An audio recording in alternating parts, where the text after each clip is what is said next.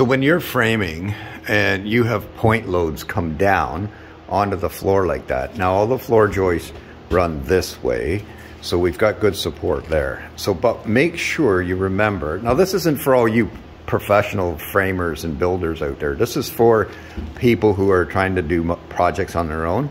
One thing to remember, make sure you put squash blocks underneath every point load. So we have a point load there, a point load there. We actually have another one that runs up inside there because there's uh, rafters, uh, trusses that sit there.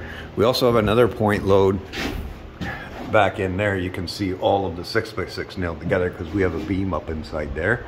So, and then the same over here. There's actually, I can't see it here. You can see it here. We have a point load way over there. There's a post, LVL post that runs down to the floor there and we have to put squash blocks in. So I'm gonna take underneath and show you. So this is what I mean by squash blocks. So you can see here, so there's our floor joist. And then we actually, we actually, for this one, we used LVL squash blocks. And all we did is we glued them in. We actually PL'd plywood on the side of the uh, floor joist there. And then we used LVL because there's a point load right above this. So it, it sits on top of the plywood, but there's a lot of weight that comes down there. Plus we sat it on top of the beam here. And this beam here is supposed to pick up all of that weight there. But actually we're gonna take it even, even a step further. We don't have to put a um, we don't have to put a post in here, but we are gonna put a post right underneath this beam as well, just for extra precaution. We don't have to, it doesn't call for it in the drawing, but we are gonna.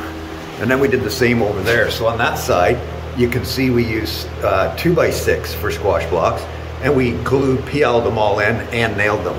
That way there's zero chance of that moving. You can see we had to put another one in there. So everywhere there's a point load, we actually put these squash blocks. That picks up the weight, so there's no movement. It's continuous wood right from the roof all the way down to the concrete, which there's a strip footing right underneath there. You can see that's that's actually a supporting wall right there. That actually picks up weight of some floor joists. So, and there's a there's actually a wall that goes right above it. I'll show you.